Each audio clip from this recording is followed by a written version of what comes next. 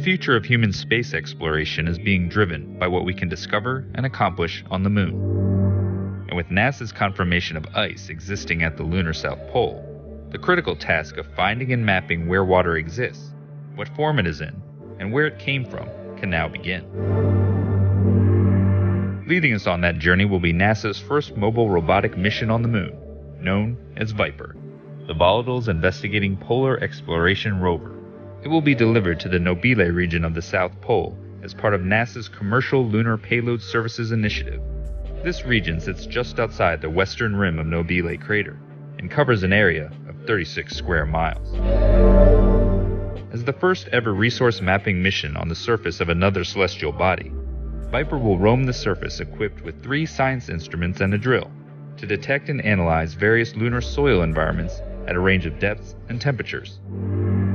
The rover will venture into permanently shadowed craters, some of the coldest spots in the solar system, where ice reserves have been preserved for billions of years.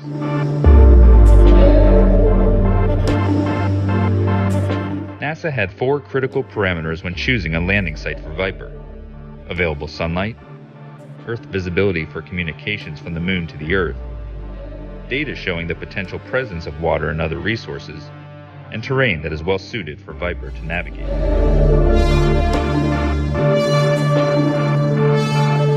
The area to the west of Nobile crater met these conditions.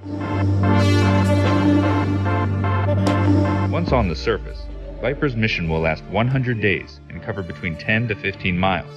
And while a baseline traverse route through the Nobile region has been identified for the rover, the scientific discoveries Viper makes along the way will actually influence where the mission team sends it next, so its planned route will most likely change. During its travels, Viper will visit at least six locations where data suggests ice could be found.